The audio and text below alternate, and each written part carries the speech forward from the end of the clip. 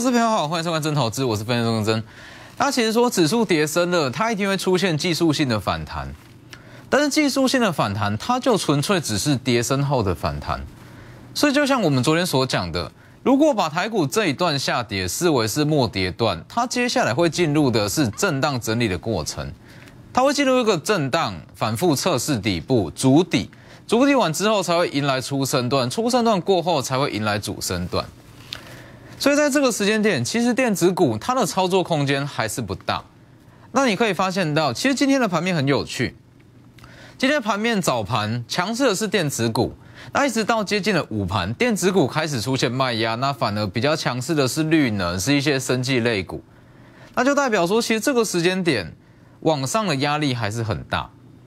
所以就像我讲的，在这一段的过程。跌升后一定会出现技术性的反弹，但是技术性的反弹它都叫反弹了，空间当然不大。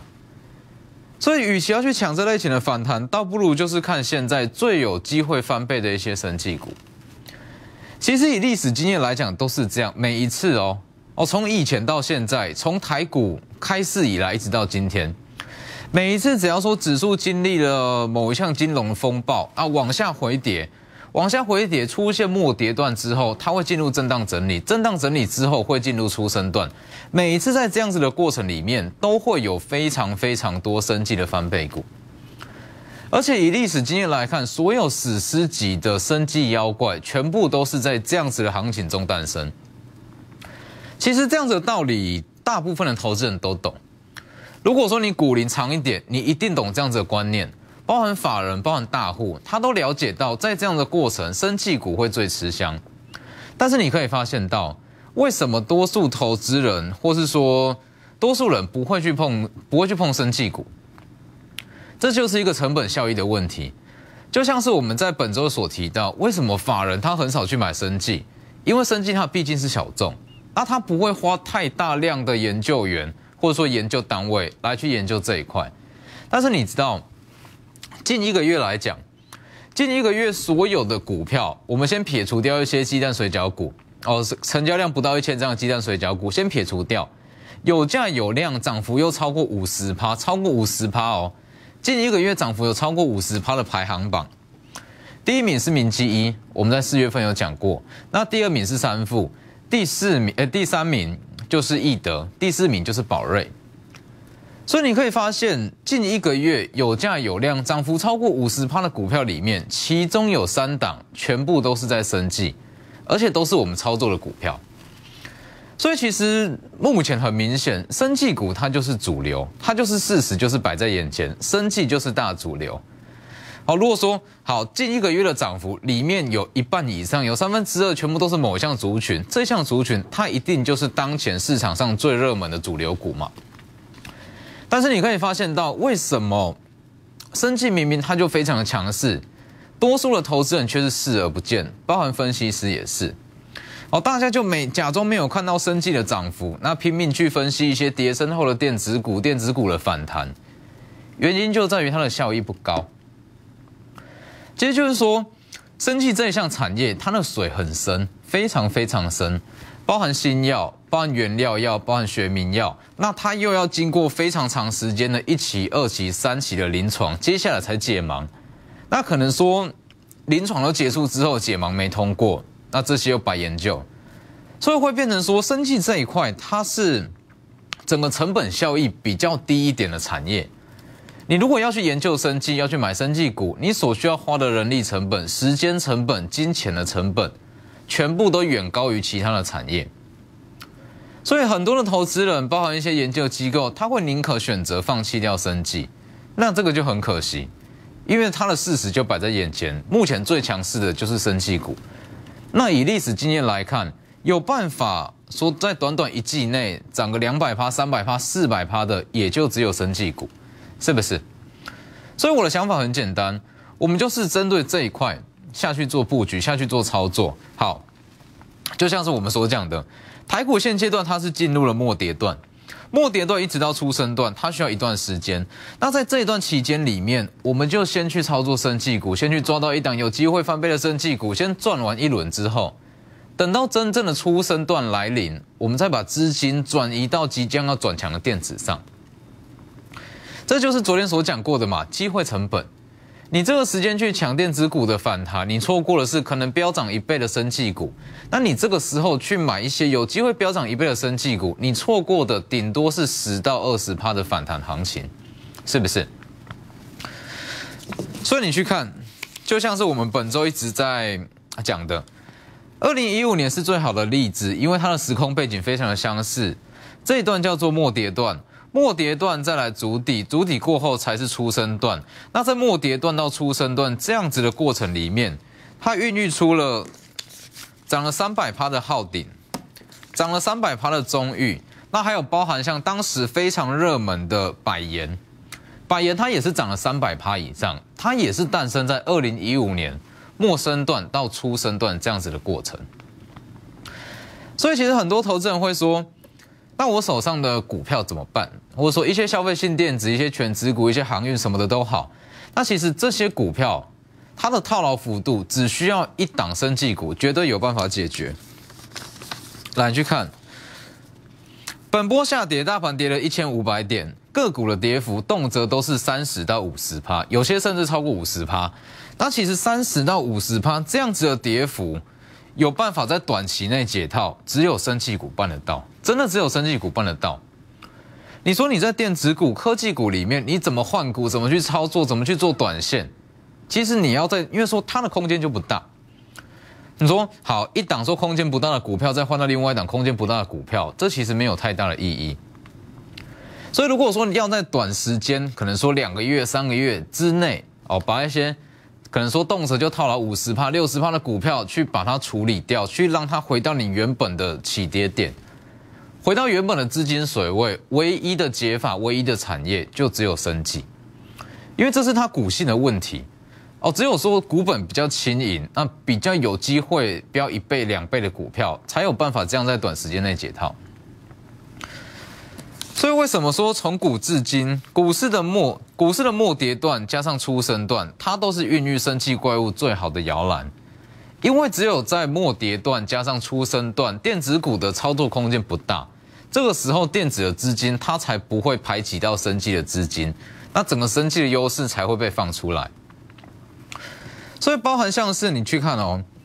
当然说如果说一档生气股它要翻倍哦，它要翻倍涨，这是一个这是一个过程啦。它不可能说好，短短一周内、两周内全部都涨上去。它会先经历到可能说警示啊，警示之后稍微震荡一下，再往上拉。那可能说警示之后又会变处置，处置完之后它会再稍微整理一下，再继续往上拉。所以里面它会酝酿出非常多的买点。那当然说里面其中还是有非常多可以操作的短线标的。来，你去看。是是一四的剑桥，当时我们有讲过嘛，在本周一六月二十号，易德的母公司它持股高达了四十趴，这么高的持股比例，易德大涨，它一定会相对受惠。是一一四的剑桥，今天涨停板。那当然说这类型它主要题材还是落在易德上，只是说是一一四的剑桥，它又是有机会连带受惠。这就是升气里面的短线股啊，是一一四当时嘛。六月二十号星期一讲完之后，留一根上影线，稍微整理一下，今天直接一根涨停板。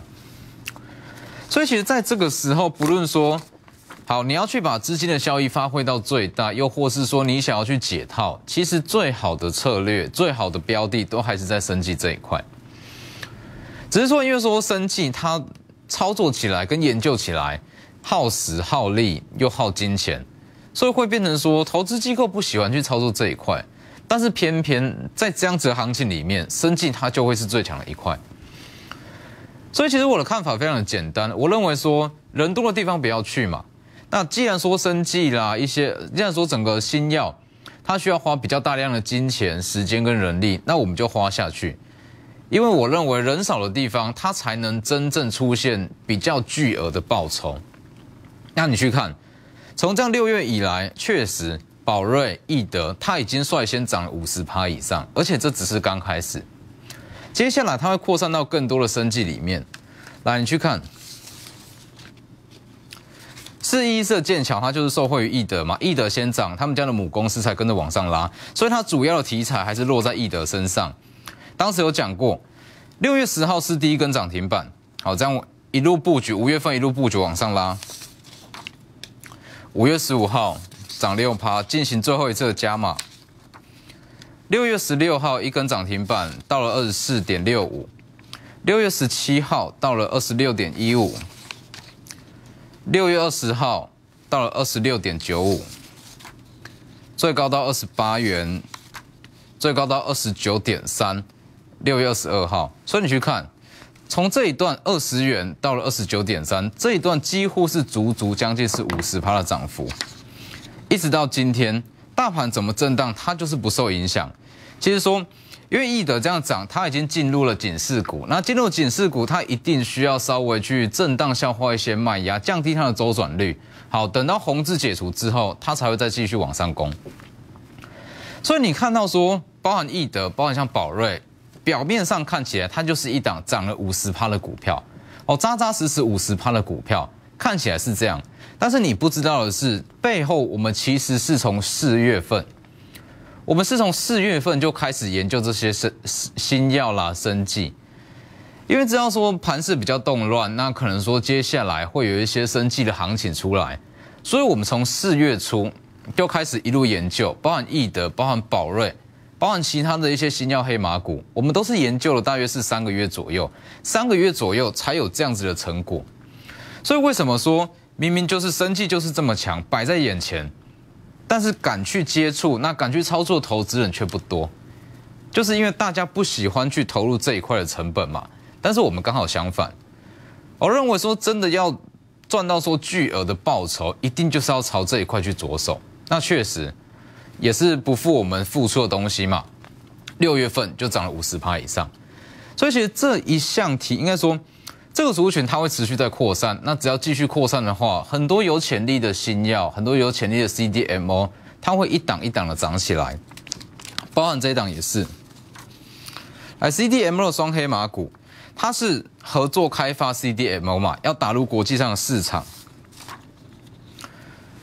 本周一六月二十号收黑，我们进场买进，隔一天往上拉一根涨停板。六月二十二号再涨五趴。昨天开低走高收一根下影线，平盘以下是一个很好的买点。今天一样是开低走高，中场一样是收红，平盘以下也是一个很好的买点。这样一路上来，这一段已经先涨了二十趴，它已经先涨了二十趴，但是其实它向上的空间还有，它向上的空间还有一段。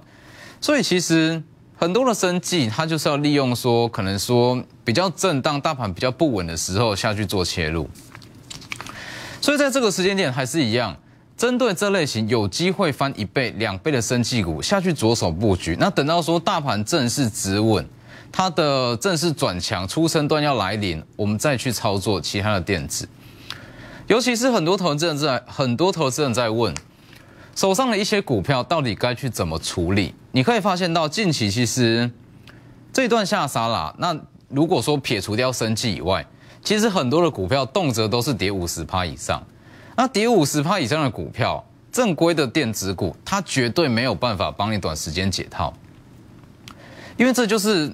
股性的问题，它需要经历一段过程，好，包含全指股，包含消费性电子，包含一些比较大型的电子股，它会需要经历震荡筑底的过程，才有机会展开比较强势的行情。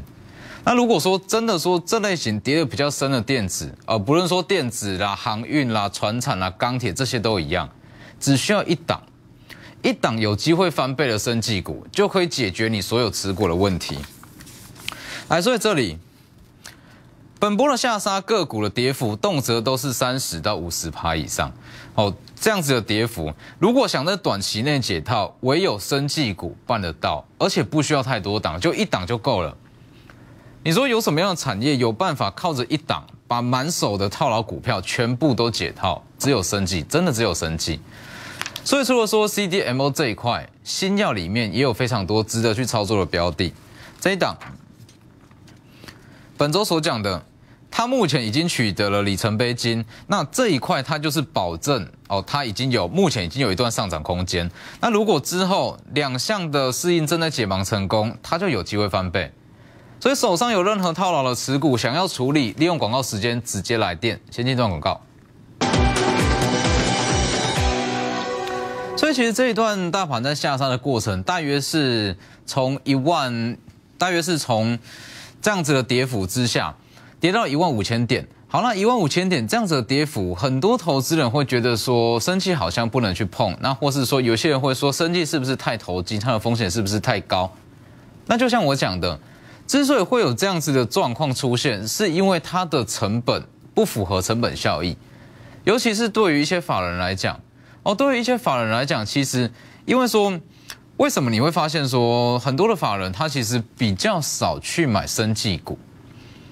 因为说这个东西，他们在买生技股需要出出具报告，那出具报告如果没有做一些充足的研究，会变成说在解盲的过程里面，那如果出现什么风吹草动，它不容易进出，哦，没办法说卖就卖，所以你会发现到为什么这个月就近一个月，近一个月明明生计就是主流，明明易的就是涨了五十趴，宝瑞就是涨了五十趴，明基也涨了五十趴，市场上多数人却是视而不见。因为它的水太深，真的要去研究生计股，花的成本真的太高。但是就像我讲的，我的看法其实是认为说，别人不敢碰的东西，更要花时间、花精力、花金钱下去做研究，这样才能真正得到说巨额的报酬嘛。所以这些研究的结果，那包含一些新药解盲的过程，我都会放在我这两大平台，Light 跟 Telegram，ID 都是 W 一一七八 V 一七八。这两大平台都会告诉你说一些产业上的观念，那跟我们说花长时间去研究出来的一些结果。好那所以在这个时间点，应该说很多的，你说这个时间点一些趋势性的产业，包含像是网通，包含像台积电设备、IP 系制裁，它有没有反弹的空间？反弹的空间绝对是有，但是不需要去抢这一块反弹。可能你一抢，因为资金只有一套嘛，资金只有一套，你一定会有机会成本的问题。你去买这项产业，就会错过另外一项产业。那既然说它会有机会成本的问题，我们一定是要去找机会成本最小的这一项去选择，去这一项的选项去选。所以你看，台股这段下杀，它一定会迎来所谓技术性的反弹，这个大家都懂。那既然大家都知道这叫做技术性的反弹，你都已经说出来说它叫做反弹，就代表说它的空间不大嘛。反弹不是反转。既然是反弹，顶多给你二十趴的获利，反弹的空间大约是二十趴，二十趴其实就它的反弹就力道就已经不小了。但是抢这一段反弹，你会错过的可能是有机会飙一倍、两倍、三倍的神奇股。所以在这段过程里面还是一样，一些电子啦可以去搭配操作，但是我们的主力还是放在神奇，尤其是初升段到初，尤其是。末跌段了，末跌段到初升段这样子的过程里面，它就是生技股的天下。从历史经验来看，都是这样。那如果说以目前台股上市加上柜加新柜加一加，就以目前的已知的数字哦，我们先不去看解盲，先不去看解盲未知的结果，我们先看已知的数字。其实有实力翻一倍的生计，至少是十到十五档左右。那就跟当时二零一五一样嘛。当时二零一五末跌段一下来，那很多的升气股它就开始一档一档的翻倍，那一直到二零一六年的二月份，合计是足足二十档，二十档以上的翻倍股。那这个时间也是一样，如果说资金它持续是在这边扩散，它的热度持续发酵的话，就以目前的数字来看，就大约是十到十五档都有机会。所以包含像是宝瑞也是一样。哎，宝瑞今天是小幅度的回档，那这就像我讲的，一档升绩股，他说如果说它有机会翻倍的话，它这一段过程里面一定会遇到警示跟处置。那警示跟处置是一个必经的过程。那为了要说避开警示或者说避开处置，它一定会出现一些震荡，在高档去消化一些卖压。那当它在避开警示跟处置处置的过程，就是一个很好的切入点。所以像宝瑞也是从不到一百八这样一路涨上来，也是将近是五十趴的获利。所以其实我们在四月份那就开始着手这一块的研究，包含一些新药，那包含一些有机会在第三季到第四季顺利解盲成功的一些药品，或是一些新药，或者一些适应症。那你去看，从四月份开始研究，那六月份效果就出来了嘛？易德涨了五十趴，宝瑞涨了五十趴，那包含其他的新药股，其实涨幅也都有大约是十到二十趴以上。所以这个时间点，如果说，很多的股票需要解套，那不知道该怎么去处理。其实很简单，不需要说好这一档要换到另外一档哦，这一档电子换到另外一档电子，这一档电子涨到了压力点又要去换到另外一档电子，不需要这么辛苦哦。不论说被套的幅度有多少，不论说它的跌幅有多少，其实只需要抓到一档升绩，就一档就足够把它整个回到你的资金回到起跌点的位置。所以这一档也是。CDMO 的双黑马股，CDMO 这一块它一样会持续在发酵。那尤其是说，如果手上是已经有药针，又加上未来的一个梦，它的涨势会更强。这一档负责前段开发跟临床试验，六月二十一涨停板，这一段已经将近是十五到二十趴的空间，但是它还没结束。六月二十二继续涨五趴。昨天开低走高，今天也开低走高。那像这样子的过程，它就是一个非常好的切入点。所以在接下来，应该说，如果你觉得说生技股它的风险比较大，那觉得说要去挑比较风险比较低一点、比较安全的生技，那就像我们本周所说的，我们要挑的就是一档它目前已经有药证的生技。哦，已经有药证的新药股，那可能在第三季、第四季有机会某一项适应症又开始去解盲，等于是说我们去把解盲这一个项目当成是它的加分项目，就算是失败也没有关系，它本来就有它的它的药证在手，本来就会有营收贡献，等于是说它是一档会上涨的股票，解盲成功变成一档会翻倍的股票，大概是这样子的逻辑，所以为什么说这一档？非常适合大部分大部分的投资人去操作，就是因为他目前在手已经有药证，那他也已经有领到了授权金，就看他什么时候要认列，认列下去全年就是七元。那目前股价是不到百元，不到百元搭配上七元的 EPS，随便算一下就会知道，它一定是有上涨空间在。那这一段上涨空间是已知的。好，那如果说它第三季、第四季全新的适应症用解盲成功。它又会再加上一笔全新的里程碑金，那这笔里程碑金加下来，就有机会让它的股价向上翻一倍。